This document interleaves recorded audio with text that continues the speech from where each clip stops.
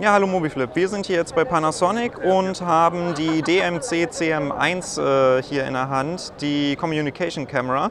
Ähm, das ist im Prinzip ein vollwertiges äh, Android-Smartphone mit 4,7 Zoll ähm, Display-Diagonale. Und äh, als Besonderheit hat es halt einen 1 Zoll Sensor auf der Rückseite verbaut. Ähm, da ist eine Leica-Linse drin, die ähm, 28 mm Kleinbildäquivalent ähm, Festbrennweite hat und Anfangsblende 2.8 bis Blende 11 geht. In der Camera-App selbst, die ihr auch über eine Taste am Gehäuse direkt äh, aufrufen könnt, habt ihr eine Vielzahl von von Möglichkeiten, ähm, die Einstellung zu verändern. Im Prinzip, wie ihr es von einer professionellen Kamera ähm, auch gewohnt seid.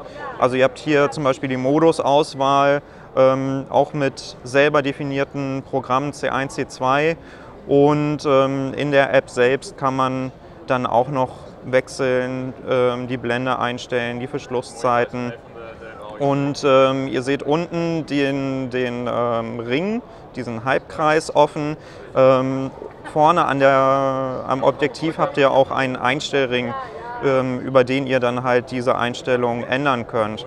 Also nicht nur ähm, Touchscreen-fähig, sondern halt auch noch ein manuelles Element. Ja, ansonsten, das Android wird gepowert von einem Quad-Core Qualcomm-Prozessor.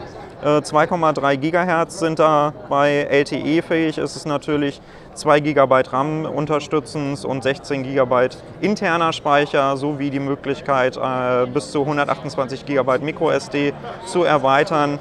Äh, machen das Ding zu einem ziemlich runden Paket. Der Akku hat 2600 mAh.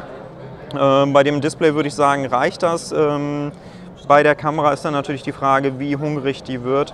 Und da bleibt es dann in der Praxis abzuwarten, wie viel Auflösung der Akku verträgt. Das war's vom Panasonic-Stand. Ich sage danke fürs Zuschauen und bis zum nächsten Mal.